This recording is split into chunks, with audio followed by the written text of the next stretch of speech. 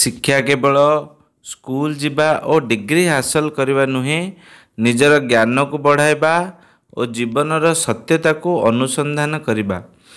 ଏହା ଥିଲା ମାନବ କମ୍ପ୍ୟୁଟର କୁହାଯାଉଥିବା ମହିଳା ଶକୁନ୍ତଳା ଦେବୀଙ୍କର ଏକ ଆପ୍ତବାକ୍ୟ ଯିଏକି ଜୀବନ କାଳରେ କୌଣସି ବିଦ୍ୟାଳୟରେ ଔପଚାରିକ ଶିକ୍ଷା ଲାଭ କରିନାହାନ୍ତି। କିନ୍ତୁ ପୃଥିବୀର ଜଣେ ପ୍ରସିଦ୍ଧ ଲେଖକ ଗଣିତଜ୍ଞ ଓ ଆଶ୍ଚର୍ଯ୍ୟ ଗଣନାକାରୀ ଭାରତୀୟ ମହିଳା ଥିଲେ।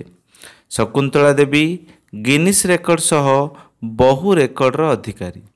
ବଡ଼ ବଡ଼ ସଂଖ୍ୟାର ଗୁଣନ ବର୍ଗ ଓ ବର୍ଗକୁ ସେ ମୁହେଁ ମୁହେଁ କିଛି ସେକେଣ୍ଡ ମଧ୍ୟରେ ବାହାର କରି ସମସ୍ତଙ୍କୁ ଆଶ୍ଚର୍ଯ୍ୟଚକିତ କରିଦେଉଥିଲେ। ଆସନ୍ତୁ ଶକୁନ୍ତଳା ଦେବୀଙ୍କ ବିଷୟରେ ଆଜି କିଛି ଜାଣିବା। ଭାରତର କର୍ଣ୍ଣାଟକ ରାଜ୍ୟର ବେଙ୍ଗାଲୋରଠାରେ ଏକ ନୈଷ୍ଠିକ କନ୍ନଡ଼ ବ୍ରାହ୍ମଣ ପରିବାରରେ ତାଙ୍କର ଜନ୍ମ ଚାରି ନଭେମ୍ବର ଉଣେଇଶହ ଅଣତିରିଶ ମସିହାରେ ହୋଇଥିଲା। ତାଙ୍କ ପିତାଙ୍କ ପରିବାରର ପରମ୍ପରା ଥିଲା ମନ୍ଦିର ପୂଜକ। କିନ୍ତୁ ଶକୁନ୍ତଳାଙ୍କ ବାପା ମନ୍ଦିର ପୂଜା ନ କରି ଏ ଗୋଟିଏ ସର୍କସ ଦଳରେ ଭାଗ ନେଲେ ଓ ସର୍କସରେ ତାଙ୍କ ବାପା ସିଂହ ବାଘମାନଙ୍କୁ ଖେଳାଇବା ସହ ମ୍ୟାଜିକ୍ ଶୋ ମଧ୍ୟ କରୁଥିଲେ। ପିଲାଟି ଦିନରୁ ଶକୁନ୍ତଳା ଦେବୀଙ୍କ ବିଚକ୍ଷଣ ଧୀ ଶକ୍ତି ଥିଲା। ତାଙ୍କ ବାପା ଶକୁନ୍ତଳା ଦେବୀଙ୍କୁ ପିଲାଟି ଦିନରୁ ତାସ ଖେଳର ଟ୍ରିକ୍ ଶିଖାଇବା ବେଳେ ଶକୁନ୍ତଳାଙ୍କ ବିଚକ୍ଷଣ ଗଣନ ଶକ୍ତିର ପରିଚୟ ପାଇଲେ। ଯେତେବେଳେ ତାଙ୍କୁ ମାତ୍ର ତିନି ବର୍ଷ ବୟସ ହୋଇଥିଲା ସେହି ବୟସରେ ସେ ଯୋଗ ବିୟୋଗ ଗୁଣନ ହରଣର ସିଦ୍ଧହସ୍ତ ଥିଲେ। ପରାଧୀନ ଭାରତରେ ଶିକ୍ଷାର ଅଧିକ ସୁବିଧା ନଥିବାରୁ ପିଲାଟି ଦିନରୁ ଶକୁନ୍ତଳା କୌଣସି ବିଦ୍ୟାଳୟ ଯାଇପାରିନଥିଲେ ତାଙ୍କ ବାପା ଶକୁନ୍ତଳାଙ୍କୁ ସର୍କସକୁ ନେଇଗଲେ ଏବଂ ସେଠାରେ ଶକୁନ୍ତଳାଙ୍କ ଗଣନ ଶକ୍ତିର ବ୍ୟବହାର କରି ଗଣିତ ଖେଳ ଦେଖାଇବାକୁ ଲାଗିଲେ। ପରେ ତାଙ୍କ ବାପା ସର୍କସ ଛାଡ଼ି ଶକୁନ୍ତଳା ଦେବୀଙ୍କୁ ନେଇ ରାସ୍ତାଘାଟରେ ଗଣିତ ଖେଳର ବିଭିନ୍ନ ଶୋ ଦେଖାଇବାକୁ ଲାଗିଲେ। ସେତେବେଳେ ଶକୁନ୍ତଳା ଦେବୀଙ୍କୁ ମାତ୍ର ପାଞ୍ଚ ବର୍ଷ ହୋଇଥିଲା। ଏହି ବୟସରୁ ସେ ବର୍ଗମୂଳ ଓ ଘନମୂଳ ମୁହେଁ ମୁହେଁ ବାହାର କରିବାର କୌଶଳ ବାପାଙ୍କଠାରୁ ଶିକ୍ଷା ଲାଭ କରିପାରିଥିଲେ। ଯେତେବେଳେ ତାଙ୍କୁ ଛଅ ବର୍ଷ ହୋଇଥିଲା ମହୀଶୂର ବିଶ୍ୱବିଦ୍ୟାଳୟରେ ଶକୁନ୍ତଳା ଦେବୀ ନିଜର ବିଚକ୍ଷଣ ଶକ୍ତି ଦେଖାଇବାକୁ ନିମନ୍ତ୍ରଣ ପାଇଲେ। ସେଠାରେ ତାଙ୍କର ଅଦ୍ଭୁତ ଗଣନ ଶକ୍ତି ଦେଖି ସମସ୍ତେ ଆଶ୍ଚର୍ଯ୍ୟଚକିତ ହୋଇଯାଇଥିଲେ। ଦଶ ବର୍ଷ ବୟସରେ ସେ ଏକ କନଭେଣ୍ଟ ସ୍କୁଲରେ ନାମ ଲେଖାଇଲେ କିନ୍ତୁ ଟଙ୍କା ଅଭାବରୁ ତିନି ମାସ ପରେ ସେ ସ୍କୁଲରୁ ବିଦାୟ ନେବାକୁ ପଡ଼ିଲା। ଏହାପରେ ସେ କୌଣସି ବିଦ୍ୟାଳୟରେ ଆଉ ପଢ଼ିପାରିନଥିଲେ ବିନା ବିଦ୍ୟାଳୟ ପାଠରେ ମଧ୍ୟ ସେ ଆନ୍ନାମଲାଇ ଓସ୍ମାନିଆ ହାଇଦ୍ରାବାଦ ଓ ବିଶାଖାପାଟଣାର ବିଭିନ୍ନ ବିଶ୍ୱବିଦ୍ୟାଳୟ ତରଫରୁ ନିମନ୍ତ୍ରଣ ପାଇ ତାଙ୍କର ଏହି ଅଦ୍ଭୁତ ଗଣନ ଶକ୍ତିର ପ୍ରଦର୍ଶନ ଦେଖାଇବାକୁ ଲାଗିଲେ। ଉଣେଇଶହ ଚଉରାଳିଶ ମସିହା ବେଳକୁ ତାଙ୍କୁ ଆନ୍ତର୍ଜାତିକ ପରିଚୟ ପାଇପାରିଥିଲେ। ଲଣ୍ଡନର ବିଶ୍ୱବିଦ୍ୟାଳୟ ମାନଙ୍କ ନିମନ୍ତ୍ରଣ ପାଇଁ ଶକୁନ୍ତଳା ଦେବୀ ପିତାଙ୍କ ସହ ଲଣ୍ଡନ ଯାତ୍ରା କଲେ। ଲଣ୍ଡନର ଇମ୍ପାରିଆଲ କଲେଜରେ ସେ ତେର ଅଙ୍କ ବିଶିଷ୍ଟ ଦୁଇଟି ସଂଖ୍ୟାକୁ ମାତ୍ର ଅଠେଇଶ ସେକେଣ୍ଡରେ ଉତ୍ତର ପ୍ରଦାନ କରି ସମସ୍ତଙ୍କୁ ଆଶ୍ଚର୍ଯ୍ୟଚକିତ କରିଦେଇଥିଲେ। କାରଣ ଏହାର ଉତ୍ତର ଛବିଶ ଅଙ୍କ ବିଶିଷ୍ଟ ସଂଖ୍ୟା ଥିଲା। ସେ ଉଣେଇଶହ ପଚାଶ ମସିହା ପରେ America Hong Kong Japan Sri Lanka Canada France Spain Mauritius Indonesia Malaysia ଆଦି ଦେଶ ଭ୍ରମଣ କରି ନିଜର ଜ୍ଞାନର ପରାକାଷ୍ଠା ଦେଖାଇବାକୁ ଲାଗିଲେ। ଏହିସବୁ ଦେଶମାନଙ୍କରେ ତାଙ୍କର ଅଦ୍ଭୁତ ଗଣନ ଶକ୍ତିର ପରିଚୟ ଦେଖିବାକୁ ମିଳିଲା। ଥରେ ଆମେରିକାର କାଲିଫର୍ଣ୍ଣିଆ ବିଶ୍ୱବିଦ୍ୟାଳୟରେ ସେ ଗୋଟିଏ ନଅ ଅଙ୍କ ବିଶିଷ୍ଟ ସଂଖ୍ୟାର ସପ୍ତମ ମୂଳ ବାହାର କରିବାକୁ କଳାପଟାରେ ଦିଆଗଲା।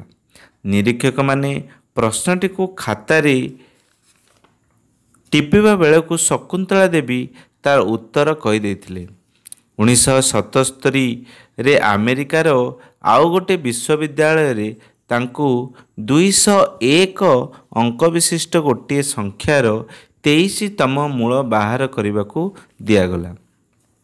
ଆଶ୍ଚର୍ଯ୍ୟର କଥା ମାତ୍ର ପଚାଶ ସେକେଣ୍ଡରେ ସେ ତାହାର ଉତ୍ତର ବାହାର କରିଦେଇ ପାରିଥିଲେ। ଯାହାର ଉତ୍ତର ଥିଲା ଏକ ଦଶ ଅଙ୍କ ବିଶିଷ୍ଟ ସଂଖ୍ୟା।